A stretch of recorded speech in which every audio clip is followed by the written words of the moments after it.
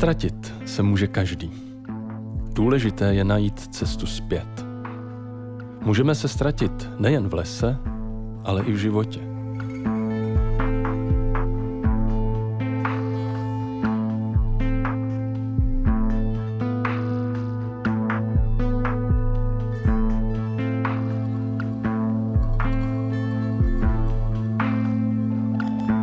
Existuje cesta, po které dojdeme bezpečně do cíle?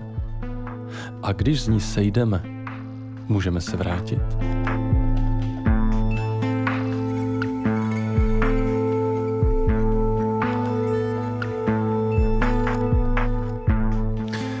Stalo se vám někdy, že jste zabloudili? No, mně se to stalo právě teď. Pokud máte mapu, jako já, a pokud v ní umíte číst, tak eh, pak eh, je dost velká šance, že člověk najde tu správnou cestu. Ale co když přijdu na rozcestí, mapu nemám, vůbec nevím, kde jsem. Jedna cesta vede tím směrem, druhá cesta na druhou stranu a vy nevíte. A tak nezbývá, než to risknout. Ale co když se v životě člověk dostane do situace, kdy se obrazně řečeno dostane na rozcestí a ví, která cesta je ta správná, ale vědomně se rozhodne zvolit tu špatnou. Že je to nesmysl? Ale v životě takto často jednáme. Představte si manžele, kdy jeden z nich se rozhodne být svému partnerovi nevěrný. On ví, že to není dobré. On ví, že tomu druhému ublíží. A přesto se rozhodne jít tou špatnou cestou, protože pro něho v tu danou chvíli mu připadá mnohem přitažlivější a lepší. Kolem nás na křižovatkách života chodí mnoho lidí, kteří se v životě rozhodují zvolit si tu cestu špatnou.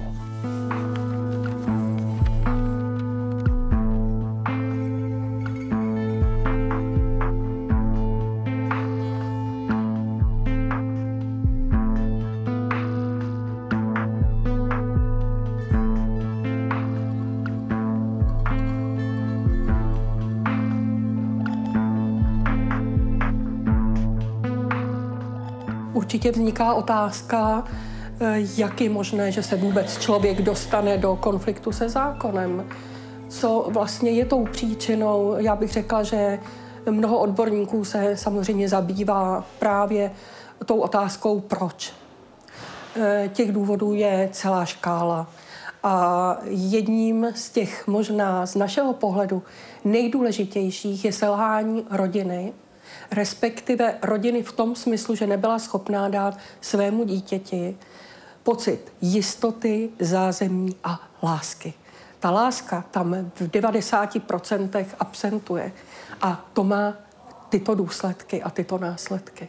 To, co je pravda, je, a to říkal jeden žel už nežijící e, pan ředitel věznice, že právě nedostatek lásky dovedlo lidi na cestí a my se s tím setkáváme, že to je pravda. Měli jsme takový zvláštní e, případ nebo klienta v vězně, který, eh, který dostal e, na konci doby totality e, trest smrti. Unikl zhruba o dva dny tomu výkonu trestu s tím, že pak přišla novela zákona, která neumožňovala e, tento trest realizovat. Eh, žil eh, ve svém světě s vidinou 20 let eh, výkonu trestu a do jeho cely vstoupil tehdy duchovní. Člověk, který přišel plný entuziasmu mezi odsouzené a nevíme proč, ale právě tohoto člověka si vybral, otevřel svoji náruč a tohoto člověka původně odsouzeného na smrt objal. A tento člověk pak vyprávěl, co to pro něj znamenalo. A ten moment projevu lásky k tomu člověku, to, že se nezajímal o to, co udělal, proč to udělal, ale tak ho přijmul, jak je jako člověka, v něm co si zlomilo. Byl to pak jeho boj o víru. A on v tom boji vyhrál s boží pomocí. Ten člověk se naprosto změnil.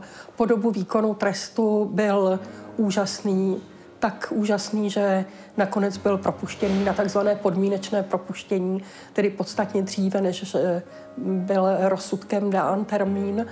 A pak ještě deset let žil venku na svobodě úžasně nejenom spořádaným životem, ale životem pro druhé, kde lásku dával dál. Já mám za to, že eh, samozřejmě víra může člověka ochránit od, té, od toho špatného rozhodnutí. Eh, z druhé strany bude určitě záležet na tom, jak byl člověk zakotvený ve víře. Protože takové to prohlášení, že jako dítě jsem chodil do kostela, nepomůže člověku v té správné orientaci životní.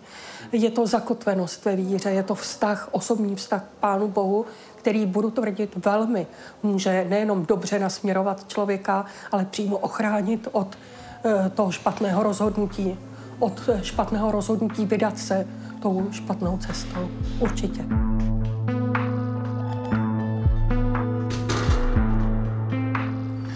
Ten, kdo se v životě vydává tou špatnou cestou, za sebou zanechává poničené vztahy. Někdo by to mohl nazvat hříchem. Uvědomuji si při vyslovení tohoto slova, kolik falešných, nesprávných představ je mezi lidmi a to i mezi lidmi věřícími. Co to vlastně hřích je? Jak se dá hříchu zbavit?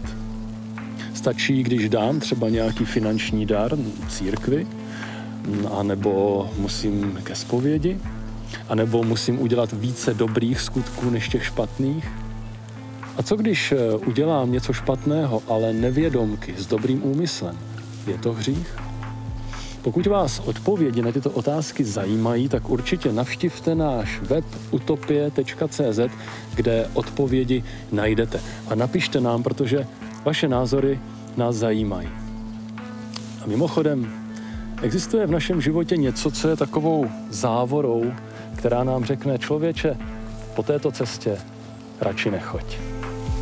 thank you